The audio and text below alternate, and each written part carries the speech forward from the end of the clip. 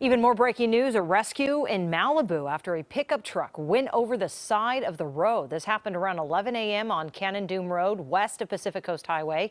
LA County Fire Department crews helped hoist an injured person that had plunged 200 to even 300 feet off the road. You see it there. Witnesses say a second victim actually was able to walk up the hillside themselves, but the extent of their injuries is unclear.